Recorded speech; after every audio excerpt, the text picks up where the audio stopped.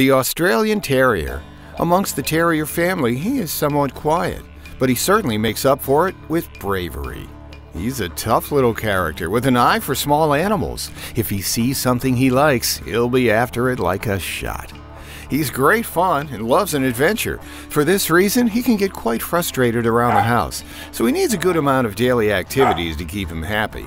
He's easily pleased and pretty bright, making for quite an obedient little dog. He's an earth dog at heart, so he tends to dig, but this can be kept under control if he gets his exercise. A decent walk every day is essential, a good run and a rough game, and he's in heaven. With quite a wiry coat, he'll need brushing once or twice a week.